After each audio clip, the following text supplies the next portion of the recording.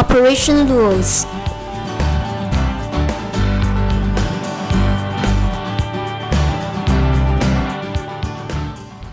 Connect the adapter with the power source. Then insert the end of the adapter wire into the power source hole of the 3D pen. When LED light is yellow, indicates the device is conductive and enter the mode of standby. LED screen displays PLA or ABS. Press the material temperature button for the choice of material. It must be the material used actually to avoid potential breakdown. After selecting the material, press feeding button.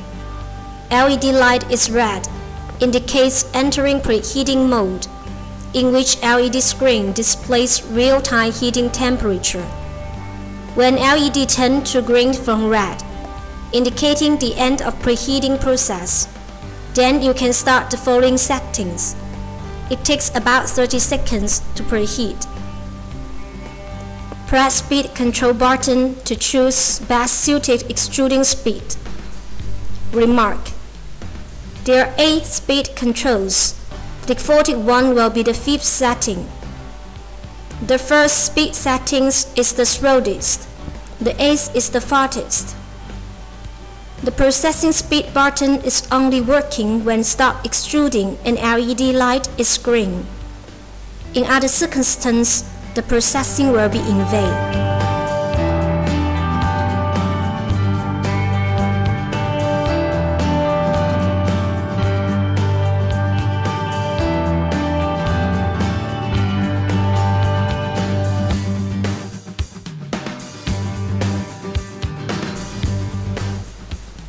Insert the selected materials into feeding hole at the end of the pan.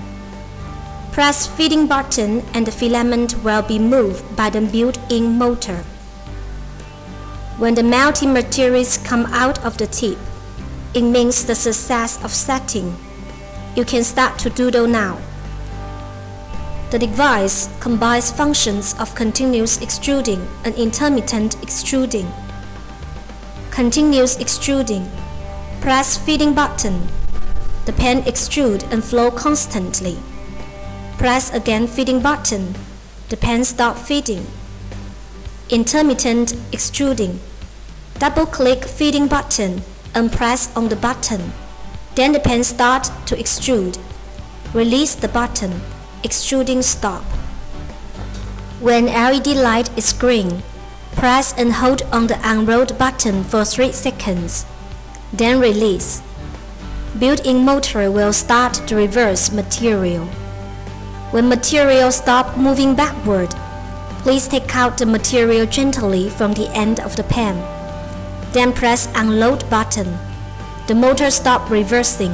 Intermittent function will automatically stop when work up to 1 minute. When the drawing ended, Please unroll all the filaments to avoid negative influence on normal use of the device in the future.